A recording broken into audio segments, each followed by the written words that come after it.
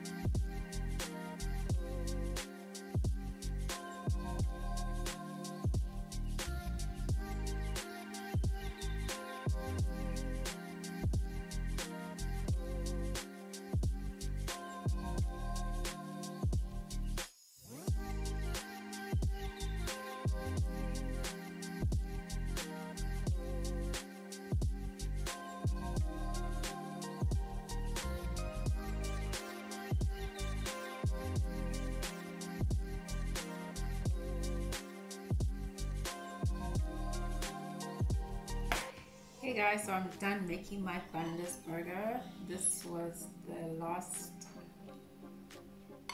but the reason why I don't want to use like bread or like a bun or anything like that is because I'm trying to limit that consumption.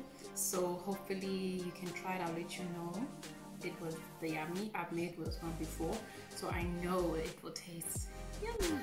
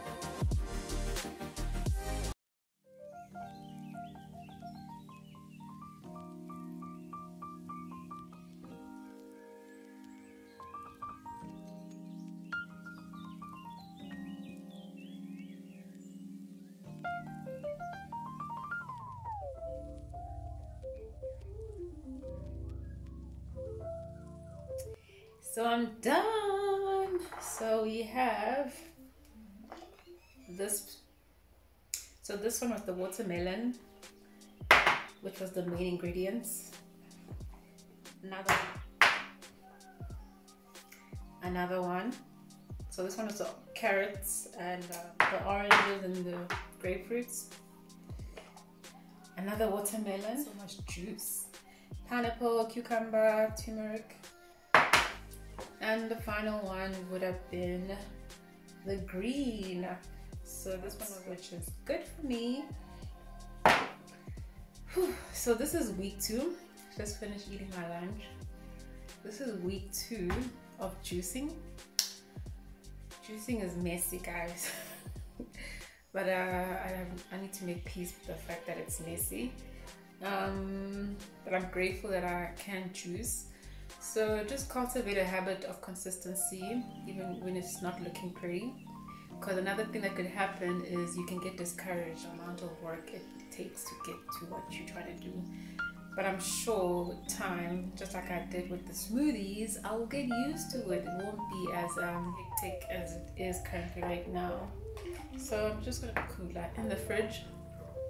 And yeah, I'm gonna bring them throughout the week. Week two i'm juicing.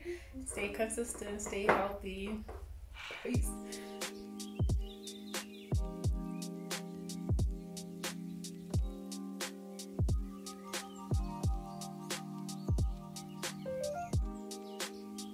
I wanted to share today um, that I really liked through the, the church at the service. So the, the title of the service was Chaos and Order, something like that. Chaos in Order, something like that. But I was, was just looking at how Jesus is always finding opportunity in the midst of chaos. I think that's how he works. You know, at the end of the day, it's for us to see who he is, for his glory. Just miss. So in Genesis 1, it says that um, God was hovering around the, the, dark, you know, the dark, deep waters and so forth. And then he said, Let there be light.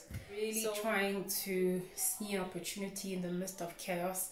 We're in a new year, a lot of things are not looking like they're making sense in our country, in our world. Just to find opportunity in the midst of the chaos, opportunity even when the lights go out to change your mouth because the power of the tongue you know the lord's word is very it's principle you know it's about principles. So it's not just about how you feel it's also about what you say with your mouth and what you agree with. So our mouth has the ability to to expand things limit things. So we need to speak light in the midst of any situation that we find ourselves in. And really just um being a force. As Christians. We can't just be as we embrace the, the new year and the years to come uh, because it, it's going to get crazier. You know, the world is getting crazier. And it's not to say that we need to dim down our light. That's when we need to raise up a standard. You know, when the spirit of you know, heaviness comes, we need to raise up a standard. So I will link up the message from church on my description. I hope it blesses you.